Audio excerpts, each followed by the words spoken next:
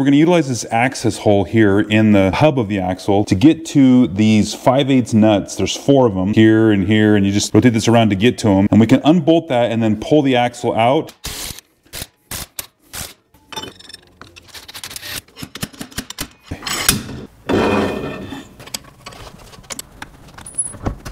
So now what we want to do is go after these screws here on the pumpkin or the third member. You may want to put a, a drip pan underneath here in case the seal breaks as you're doing this, but probably we're going to have to smack this thing with a hammer just to break it from the seal.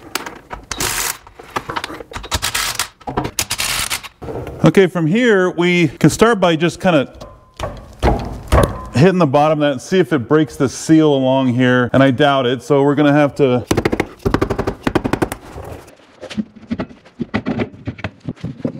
All right, this is what the inside of your third member looks like. Pretty simple, and the parts that we're gonna put in here are gonna look just like this, uh, except they're gonna be brand new.